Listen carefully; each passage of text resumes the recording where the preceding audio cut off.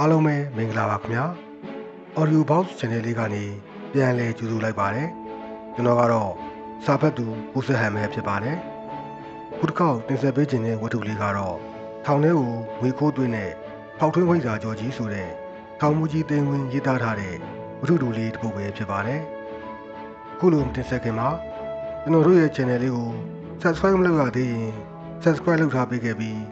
အသစ်တင်တိုင်းသိရှိရအောင် notification ခေါင်းလောင်းလေးကိုလည်းနှိပ်ထားပေးခဲ့ဖို့မေတ္တာရက်ခံပါတယ်ခင်ဗျာအကြံအဖန်လုပ်တည်ဆိုသောစကားမှာထောင်တွင်းမှလာသောစကားဖြစ်ပါသည်လူစုံအတက်ဆုံးဖြင့်အားလက်ချိန်ရာတိုင်းစင်ကြံကြံနေကြသည်မှာအချုပ်သားအကျဉ်းသားတိုင်းလိုလိုဖြစ်ကြပါသည် အချို့ကအစားတောက်အတွက်ထောင်ကလေးပဲဟင်းအားထောင်တောင်ယာမှရရှိသည့်အသီးရွက်များယောဂမိန်လာကြောင်၌ခိုးချက်စားကြသည်ကိုအကြံဖန်ဟင်းချက်စားသည်ဟုခေါ်ကြပါသည် ထောင်တွင်း၌ မိဖို့ကြီးမှလွဲ၍မိဖို့ဝင်မပြူပါအလုတ်ဖက်ဌာနမှကျွန်းတစ်ပြားအပိုင်းစာများအားသုံးမြောင်ပုံစူးကျွန်းဖြင့်မျက်နှာနှစ်ဖက်ပုတ်စူးထိုးလိုက်လျင်ကျိုးပေါက်ပါအစာလုံးလေးရလာပြီးအပေါ်တွင်ရကန်းဌာနမှရရှိသည့်ကျိုးစာလေးများအားကြည့်၍ဖွင့်မီးထိုးလိုက်လျင်ကျိုးပတိလုံးလေးရရှိလာပါသည်တရားရှိလုံးပြည့်သည်နှင့်တီကုန်းလိုက်လျင်နာမည်ကျော်ထောင်လုံကျိုးပတိရလာပါသည်၎င်းကျိုးပတိအား တန်ဖိုးတင်၍ဟင်းနှင်လဲမလားအဝတ်အစားမုံပဲတည်စာနှင့်လဲမလားငွေကြေးဖြင့်ရောင်းမလားစသဖြင့်ဖလှယ်ရေးကိရိယာဖြင့်သုံး၍ရပါတော့သည်နောက်တစ်မျိုးမှာထောင်ဝင်စာထည့်လာသည့်ပလတ်စတစ်အိတ်ကျွတ်ကျွတ်အိတ်များအားလိန်ကျစ်၍အမြင်ပြုလုပ်ပြီးအိတ်အမျိုးမျိုးထိုးသည့်လုပ်ငန်းထောင်တွင်း၌သမင်းစားရန်ထုတ်ပေးထားသည့်ဒဏ်ခွဲအပိုင်းစာများအားမြေတွင်းတူး၍အရေးကြူပြီးလက်ဝတ်တစားများလုပ်ခြင်းစသည့်လက်မှုပညာအကြံဖန်နည်းများအပြင် ယခုဖော်ပြမိနည်းမှာထောင်ဥပဒေဖြင့်စန့်ကျင်သောနည်းများဖြစ်သဖြင့်အရေးယူခံရသောဇလန်းဖြစ်ပါသည်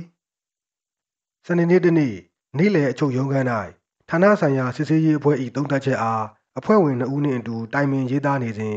ထောင်ပန်ကြီးရုံးခန်းမှအော်ဒလီမောင်မတ်ဂျောင်ကက်၍အိပ်ပျော်နေရာမှနိုးထလာသည့်ဟန်ဖြင့်အချုပ်ရုံးခန်းတွင်သို့ဝင်ရောက်လာပါသည်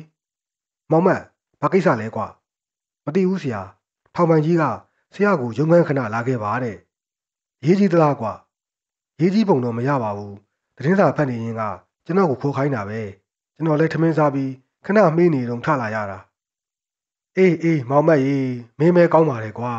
ဘာတာဝန်မှကြီးကြီးမားမားမရှိဘူးထောင်ပိုင်ကိုရင်နှူးချမ်းငှက်ပြီးလူခေါ်ပေးုံတက်တက်ပဲနော်အာဆရာကလည်းကျွန်တော်ရဲ့ယာတူးကိုမနာလိုဖြစ်နေပြန်ပါပြီထောင်ပိုင်ဆက်ဆက်အော်ဒလီလောက်လာတာနှက်ပြီပေါ့ဆရာရဲ့တခါတလေထောင်ပိုင်စားတဲ့အစာတောင်စားရသေးဟဲ့ မောင်မတ်မှာသူဤယာတူးနေရာအားအတော်သဘောကျကျဉ်းနှံ့နေဟန်တူပါသည်ဖင်ပေါ်သောအလိုက်တီသောမောင်မတ်အားထောင်ပိုင်ဆက်ဆက်အသုံးပြုလာရာအသက်40ကျော်စားပြုနေပါပြီကျွန်တော်တို့ထက်အသက်ကြီးတော်လဲနှုတ်ကျိုးနေသဖြင့်ဥမတ်ဟုမခေါ်တော့ပဲမောင်မတ်ဟုပင်အလွယ်ခေါ်နေကြပါသည်မောင်မတ်မှာထောင်ပိုင်ကြီးရုံးကားဖြစ်တော်လဲအစဉ်အားလုံးနှင့်တင့်တင့်အောင်ပေါင်းတတ်သဖြင့်လူချစ်လူခင်များသူတူဖြစ်ပါသည်ချက်ချင်းပင်လူလက်ဆအစီရင်ခံစာသုံးသပ်ချက်အား အဖွဲ့ဝင်များထံလွှဲခဲ့ပြီးမောင်မတ်နှင့်အတူဘူးတကားဝထောင်ပိုင်ကြီးရုံးခန်းသို့ထွက်ခဲ့ပါတော့သည်ရုံးခန်းဝရှိစင်နရွယ်တကားလေးအားတွန်းဖွင့်ဝင်ခဲ့ပြီးနောက်ထောင်ပိုင်ကြီးကိုလေးပြူရာထောင်ပိုင်ကြီးမှထိုင်ထိုင်ဦးသိန်းဝင်းမနှက်ဖန်တနင်္ဂနွေနေ့မဟုတ်လားထောင်ကြားအိတ်ဆောင်အမတ်လေးကိုမနှက်ဖန်မနဲ့ထောင်ဖွင့်လူပေါင်းဆင်းရင်ယူပြီးတာနဲ့တလာစီချောက်ဖွေစစ်ဆေးခြင်းလုပ်ချင်တယ်အဲ့ဒါခမားဥဆောင်ပြီးစီစဉ်မှာဖောက်ထွင်းဝိဇ္ဇာကြော်ကြီးတို့အခန်းကိုအထူးရှာဖွေပါ တည်င်းရထားတယ်ဘိန်းလားဆေးကြောက်လားထောင်ပိုင်ကြီးမဟုတ်ဘူးငွေပတ်စံတွေဒီကောင်တွေအဖွဲ့နဲ့မတမာနီးသုံးပြီးထောင်ထဲကိုပတ်စံတွင်းနေကြတယ်လို့သတင်းရထားတယ်ဟုတ်ကဲ့ပါထောင်ပိုင်ကြီးကျွန်တော်ကထောင်ပိုင်ကြီးအားအလေးပြုနှုတ်ဆက်ပြီးအချို့ယုံလို့ပြန်ခဲ့ပါသည်မနက်ဖြန်ကျွန်တော်အားလက်ရဲ့တနင်္ဂနွေနေ့ဖြစ်ပြီးစနေအားလက်ရဲ့ယူထားသည့်ထောင်မူကြီးဦးလာမြင့်တို့ထောင်ဖွင့်အလဲဖြစ်တော်လဲ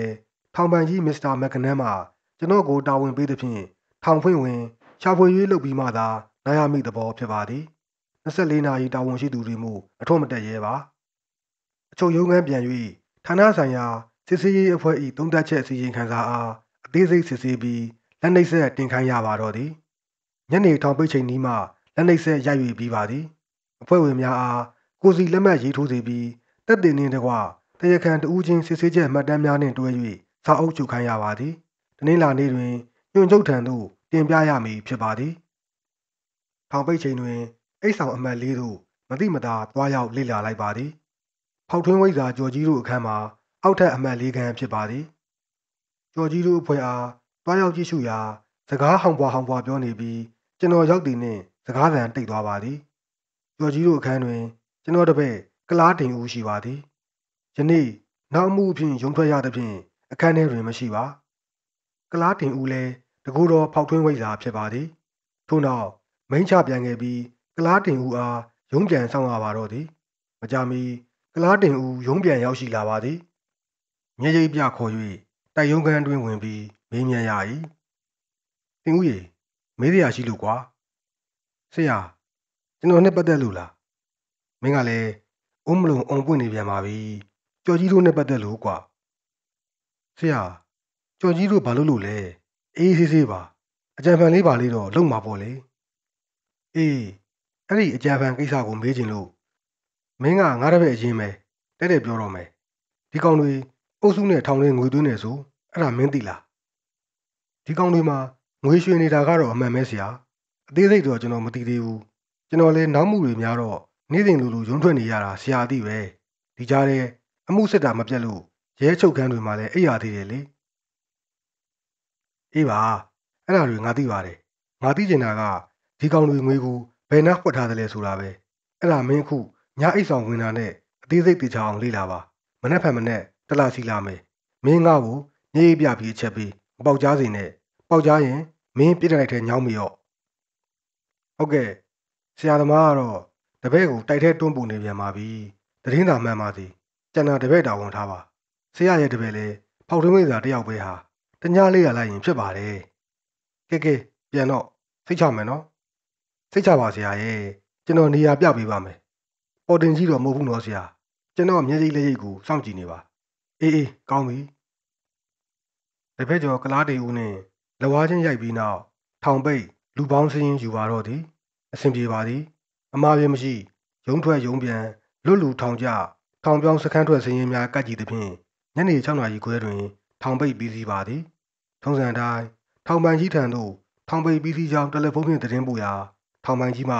မနက်ဖြန်မနေ့တလားစီရာတွင်အမိရအသေးချာလှုပ်ဆောင်ရန်ထပ်မံသတိပေးပါသည်ထောင်ပိတ်ပြီးစီးသဖြင့်အိမ်ပြန်နာခွင့်ရပါသည်မိသားစုစုံညီစွာဖြင့်ညသာထမင်းစားပြီးနောက်ဖျားဝတ်ပြုစာနှင်းငယ်ဖက်ပြီးအိယာဝင်ခဲ့ပါတော့သည်မနက်ဖြန်မနေ့9နာရီတွင်ထောင်ဖွင့်ဝင်ရအောင်မည်မဟုတ်ပါလားတနင်္ဂနွေနေ့မနက်6နာရီတွင် ထောင်ဖွင့်ပြီးစီးပါသည်သို့သောအိတ်ခမ်းဆောင်များကိုမဖွင့်သေးဘဲလေးဆောင်တစ်ဆောင်လုံးအားပိုက်စိတ်တိုက်တလာစီကြပါသည်တလာစီချိန်တွင်အကျဉ်းသားများအားပုံစံထိုင်ခိုင်းပြီးအခန်းလူကြီးအခန်းစည်းရေးတို့အားတက်တီခေါ်ကလူတဦးချင်းရှာဖွေရေးပြုလုပ်၍တန်းစီထိုင်ခိုင်းစေသည်ပြီးနောက်တဦးချင်းပိုင်အဲ့ရလိမ့်နှင့်အဝတ်စားများအသုံးဆောင်ပစ္စည်းများအားစိစက်တီချစွာရှာဖွေရေးပြုလုပ်ရပါသည်အခန်းအနှံ့နေရာအနှံ့မျက်နှာကျက်ခေါင်မှု ဘာယာတန်းမှမကြံရှာဖွေခြင်းဖြစ်ပါသည်ကျန်းခင်းမှာတမန်တလင်းဖြစ်ပြီးဖြာချမ်းသာခင်းထားသဖြင့်ပစ္စည်းဝတ်စရာနေရာမရှိပါသို့တော့သို့တော့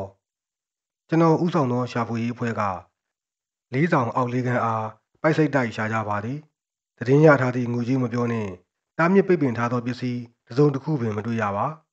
ထောင်ပိုင်ကြီးတတိယမှားပြီးထင်ပါသည်ကျော်ကြီးတို့ဘွယ်အားဆောင်ခဲ့ကြည့်ရာမျက်နှာများပြုံးစီစီဖြစ်၍နေကြပါသည် ကျွန်တော်မကြည်နပ်ပါထောင်မူကြီးတယောက်လုံးကပစ္စည်းရှိလျက်မတွေ့ခဲ့ပါလျင်ကျွန်တော်ရာဇဝင်ရိုင်းမိတော့မီတတိယ၍တပည့်ကျော်ကလားတင်ဟူအားရှာဖွေကြည့်ရှုမိတော့မှတပည့်မှာခေါင်းကုတ်တလူလိုနှင့်အခန်းနောက်ဘက်အုံနရန်စီကိုညွှန်ပြနေပါသည်ဟုတ်ပါပြီသိပါပြီအုပ်စီနရန်မှာနှစ်ပေါင်းရာချီနေသဖြင့်အင်္ဂလိပ်များကွာနေပြီးအုပ်များပေါ်နေကထုံးပြူတုတ်ထားပါသည်ကျွန်တော်ကိုယ်တိုင်အခန်းနောက်ဘက်အုပ်နရန်အားစစ်ဆေးကြည့်ရှုပါသည် မတွေ့ပါအုပ်နရန်အားထုံးပြူတုတ်ထားခြင်းမှာလည်းအရာမကျွင်းပါမကျေနပ်၍အုတ်ခဲတစ်လုံးချင်းအသေးစိတ်ထပ်မံစစ်ဆေးရာလက်လက်ဆက်ဆက်ထုံးတုတ်ထားသောအုတ်ခဲတစ်လုံးအားစစ်ဆေးတွေ့ရှိပါတော့သည်လက်ဖြစ်တွန်းကြည့်ရာလှုပ်သွားသဖြင့်အသင့်ပါလာသောအိမ်တော်တံဖြင့်ကန့်လန့်၍ခွာကြည့်ရာအုတ်ခဲမှာအလိုက်တင်ပြုတ်ထွက်လာပါသည်။ဂလိုင်ပေါပြုတ်လုပ်ထားခြင်းဖြစ်သဖြင့်အထဲတွင်အတော်ကျယ်ဝန်းပါသည်။အစီအီထဲသွင်းထားသောပတ်စံအုံများအားအများအပြားတွေ့ရှိရပါတော့သည်။ ကြက်တသိန်းခန့်ဖြစ်ပါလိမ့်မည်။ထိုစဉ်ကကြက်ငွေတသိန်းမှာ family ယာကားနှစ်စီးဝယ်နိုင်ပါသည်။အခန်းလူကြီးအခန်းစည်းတို့အားခေါ်၍တက်တေထူပြီးပိုင်ရှင်ဖော်ခိုင်းရပါတော့သည်အခန်းလူကြီးကအော်ပါသည်ဒါဘု து ပစ္စည်းလဲဟိအာခကောင်တွေဖြစ်သည်နှခါမအော်ရပါကြော်ကြီးထိုင်နေရမှထား၍ကျွန်တော်ပစ္စည်းပါဆရာမင်းတယောက်တည်းပိုင်တာလားဟုတ်ပါတယ်ဆရာမလိမ္မာနဲ့ကွာ မင်းတယောက်တည်းလှုပ်လို့ရတဲ့ကိစ္စမဟုတ်ပါဘူးမင်းမှာအဖွဲရှိလိမ့်မယ်အေးအေးဆေးဆေးပြောပြပါလားကွာငါအကြောင်းလဲမင်းသိရသားနဲ့ငါအတက်နိုင်ဆုံးကူညီမှာပါထိုစဉ်တန်းစီထိုင်နေသူအုပ်စုထဲမှလေးဦးထား၍မတ်တက်ရက်ပါသည်သူတို့လည်းပါသည်ပေါ့တိတ်စီရရှိငွေများအားအိတ်တလုံးနဲ့ထည့်၍တရခန်၅ဦးအားမင်းကြီးသူခေါ်ဆောင်ခဲ့ပါသည်မင်းကြီး၌ထောင်ပိုင်ကြီးရောက်ရှိနေပါသည်ကျွန်တော်ထောင်ပိုင်ကြီးအားအလေးပြု၍တင်းစီရမိငွေများနှင့် တရခန်၅ဦးတို့အားအနံပါသည်အတူချုံး၍လည်းတည်င်းပို့လိုက်သည်ထောင်ပိုင်ကြီးမှာဥသိမ်းဝင်းတော်သဗျာခမားကိုစုပေးရအောင်မယ်တရခန်တွေကိုတိုက်ထောင်မှုလက်ကိုအပ်ပြည့်တံတိုက်တလားပိတ်ငွေတွေကိုအဖွဲ့နဲ့ရည်တွယ်ပြီးတင်းစီရမိငွေစရင်ကောင်းစင်နဲ့ဘဏ်ကိုအပ်ပါခမားနားရမှန်ခုမှကျွန်တော်သိတယ်ဗျာ sorry ပဲရပါတယ်ထောင်မှန်ကြီးခမားကျွန်တော်ထပ်မံလေးပြု၍တရခန်၅ဦးတို့အားတိုက်ထောင်မှုလက်အပ်ပြီး အဖွဲ့နှင့်ငွေများကိုရည်တွဲရပါသည်ကျွန်တော်ခံမှန်းသလိုပင်ကြက်ငွေတသိန်းကျော်ပါသည်ဒီကောင်လေးဘလို့သွင်းလာသည်မသိပါစစ်ဆေးရပေဦးမီအလုပ်ပြီးသည့်သဖြင့်ကျွန်တော်အိမ်ပြန်ပြီးနားပါသည်မိသားစုနှင့်ချမ်းမြေ့ပျော်ရွှင်စွာစားတော့အနားယူရသည်မှာတပတ်တစ်ချိန်သာဖြစ်ပါသည်တနင်္လာနေ့တွင် အလုပ်ပြန်ဝင်ရပါသည်တာဝန်မူကြီးတာဝန်လည်းကြာပါသည်ညပိုင်းတာဝန်အရတိုက်ခန်းများအားစစ်ဆေးရာပြည်တံတိုက်ကိုလည်းစစ်ဆေးရပါသည် ငွေမိသူ၅ဦးအားတောက်ချေခြင်းများခတ်၍တိုက်ခန်းများခွဲထားပါသည်ပြည်တံတိုက်ခန်းများအရှိရောက်တွင်ဆရာကြီးကျွန်တော်တို့ကိုကယ်ပါဦး။အော်ကျော်ကြီးတို့ဖွဲ့ပါလား။မင်းတို့ကဘာဖြစ်နေလို့ငါကကယ်ရမှာလဲ။ဘာမှတော့မဖြစ်ဘူးပေါ့ဆရာရဲ့။ဒါပေမဲ့ပြစ်ဒဏ်တောက်ချေချင်းတွေခတ်ပြီးတိုက်ခန်းချင်းလေးတွေမလေးချင်ဘူးဆရာ။သမင်းကလည်းပုံစံမဲစားရတော့မဝဘူး။အဆောင်မလို့စားတင်တိုင်းစားလို့မရဘူး။စလိတ်လည်းမတောက်ရဘူး။ကွန်းရလည်းမစားရဘူး။ ဒါကြောင့်ကယ်ပါအောင်လို့ဆရာကပြောရတာပါ။ဒါပြစ်ဒဏ်တိုက်ဟာကျော်ကြီးကမင်းတို့ကိုထောက်ပံကြီးအမိန့်နဲ့တလတိုက်ပိတ်ထားတာငါလည်းပဲဘာမှမတတ်နိုင်ဘူးဒါပေမဲ့ဆက်လိုက်တော့ငါတိုက်နိုင်ပါတယ်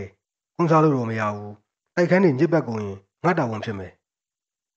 ဟုတ်ကဲ့ပါဆရာရဲ့ကိုမစားတော့ပါဘူးဆက်လိုက်ပဲတောက်ပါတော့မယ်ကဲရော့တယောက်တစ်လိပ်စီတောက်ကြငါမေးတာလဲဖြေကြအောင်ကျော်ကြီးတို့အဖွဲ့ကစီကရက်အား အငမ်းမရဖာရှိုက်နေကြပါသည်မင်းတို့ငါ့ကိုစိတ်ဆိုးကြသလားအညိုတီးထားကြသလားဥပွင့်လင်းလင်းပြောကြတယ်ကွာငါကလည်းတာဝန်အရလုပ်ရတာပါစိတ်မဆိုးပါဘူးဆရာကြီးရဲ့ကျွန်တော်တို့အပြစ်နဲ့ကျွန်တော်တို့ပါပိုင်မီလုံခြုံလာပြီဆိုပြီးကျွန်တော်တို့အဖွဲ့ထောင်ထဲမှာဇိမ်ခံနေကြတာပါဒါနဲ့ကျွန်တော်တို့ဆရာကြီးကိုအံ့ဩနေကြတာဒီလောက်လုံခြုံအောင်ထားနိုင်ရတာနဲ့ရှာတွေ့သွားလို့လေအခန်းထဲကလူတွေတောင်မသိကြဘူးအားလုံးအိမ်မ ကျွန်တော်တို့လှုပ်ရှားကြတာဒါလဲငါနီးငါဟန်နဲ့ပါကွာအံ့ဩစရာမရှိပါဘူးမင်းတို့လိုပဲငါမှလည်းလေးလာစူးစမ်းတတ်တဲ့မျက်လုံးရှိပါတယ်။တည်င်းရတာတေချာတော့တွေ့အောင်ရှာဖို့ကငါတို့ရဲ့တာဝန်ပေါ့ကွာ။ကွက်စရာနေရာကလည်းဒီတနေရာပဲကြံတော့တာ။နှစ်တရာကျော်အဆောက်အုံဆိုတော့အင်္ဂရီနဲ့အုတ်တွေကဆွေးပြီးအားမရှိတော့ဘူးလေကွာ။ဟုတ်ပါတယ်ဆရာကြီး။ကျွန်တော်တို့လည်းမမျော်လင့်မဲဝှက်ရမယ့်နေရာတွေ့ခဲ့ရတာပါ။ဖောက်ထွင်းသမားတွေဆိုတော့ လေးလာတဲ့မျက်လုံးကအားကောင်းတယ်လေဆရာ။ထောင်ပြစ်ဒဏ်တိုက်ကြတာတောင်ရေမိုးနိုင်သောလူထုလူဆန်းများဖြစ်ကြပါသည်မကောင်းမှုလုပ်ရသူများဖြစ်တော်လဲ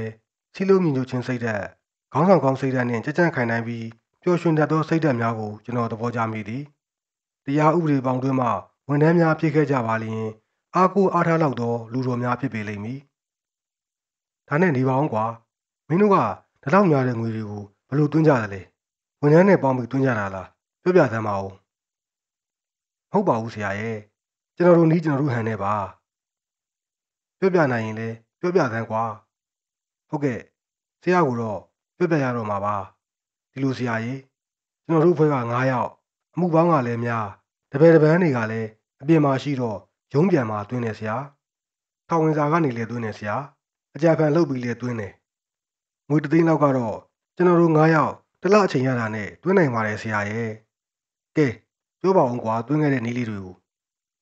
ရုံးပြန်ရင်မန္တလေးတည်ဖက်ရဲ့ရောဘာဆိုးနဲ့တည်ပြားကြားထဲမှာငွေကိုစနစ်တကျကြစ်ကြစ်လစ်လစ်ထည့်ပြီးတွင်းပြန်ချုပ်ရင်ဖက်တစ်ဖက်ငွေနှစ်ထောင်လောက်အေးအေးလေးသွင်းနိုင်ပါတယ်ဆရာဘလို့မှမသိပါဘူးအပြင်ကတပည့်တွေကအတင်းလောက်ထားပြီးသားဖဏတ်အတင်းနဲ့စီးလာတဲ့ဖဏတ်အဟောင်းကိုရုံးဘက်မှာလာလဲပေးသွားရုံပဲနောက်တနည်းကဆေးဘောလိတ်ထဲကဆေးရိုးတွေထုတ်ပြီးငွေတွေကိုစင်းတကြပြန်ထည့်ပြန်လိုက်တဲ့နည်းပဲဒီနည်းက တည်တတ်အောင်ဆက်လက်ခုံနဲ့ပေါင်းရတယ်ဆက်လက်ခုံကလည်းအကျဉ်းသားတွေကိုတနာလို့တဲ့လိခပတ်စံတောင်မယူပါဘူးလက်ကားလုပ်ပေးကြတာသူတို့ကဆေးရိုးသားတွေကိုပြန်ရတာကိုအဲ့ဒီနည်းနဲ့ကျွန်တော်တို့ကရုံးပြန်ရင်ဆေးဘောလိတ်90စီးတစ်ထုပ်ယူလာတော့2000ခွဲကျက်လောက်ကတော့အပြော့ပေါ်စရာရဲ့နောက်တနည်းကထောင်ဝင်ဆောင်မှာငပြောသီးသွင်းရင်ငပြောသီးဖြီးချမ်းအသီးမြောင်းတွေကိုဗရိတ်ဓာတ်နဲ့ခွဲအထက်ကငပြောသီးအသားကိုထုတ်ပြီးငွေထည့်ပြန်ပိတ်တဲ့နည်းပဲဒီနည်းကလက်ဝင်နေစရာ အဝါရောင်နဲ့အနက်ရောင်ပင်ရိုက်ကလေးတွေသုံးရတယ်ငပြောသီးတစ်ဖီးမှာ